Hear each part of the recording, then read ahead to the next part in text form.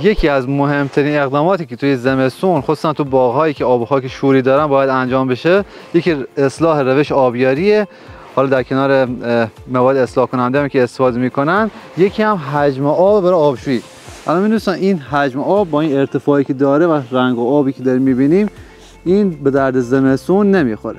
اگر حالا شما میزان آبی که در اختیارتون هست کم هست بهتره که بیاین مثلا تو یک نوبت یک قسمت از زمین رو با آب سنگین آبشویی کنین و نوبت بعدی قسمت دیگه از زمین رو. ولی اینکه بخوایم کلا زمین رو تو یه نوبت با این حجم آب بدیم این آبشویی انجام نمیشه و بدتر هم میشه.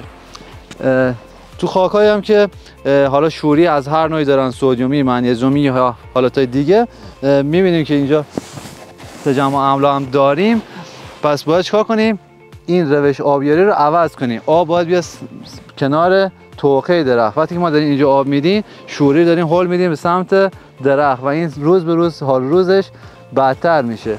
اگه هم دوربین بگیر از نزدیک می‌بینید که الان هم وضعیت تناوب شاخهاش مشخصه.